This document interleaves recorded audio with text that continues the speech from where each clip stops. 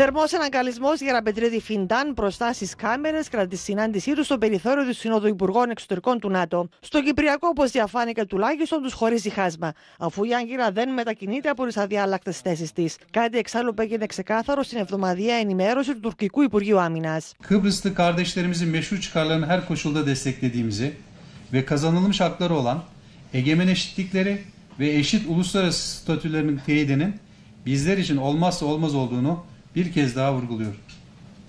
Tarafları miadı dolmuş, statükocu ve provokatif söylemler yerine tarihi ve mevcut gerçeklere uygun, makul ve mantıklı çözüme yönelmeye davet ediyoruz. Με δεδομένη τη στάση της Άγκυρας, δεν μπορεί να αναμένεται αλλαγή εικόνας από την αυριανή συνάντηση Κουτέρες Τατάρ. Ο κατοχικός ηγέτης, ο οποίος σήμερα βρίσκεται στην Ουάσιγκτον, επιμένει να απορρίπτει ω εικασίες τα περί προτάσεων Κουτέρες, στι οποίες αναφέρθηκε ο πρόεδρος Χριστοδουλίδης. Μου έκανε συγκεκριμένη πρόταση ο Γενικό Γραμματέα των Εθνών. Υπήρχαν και άλλοι στη συνάντηση. Δεν ήμασταν α, μόνοι.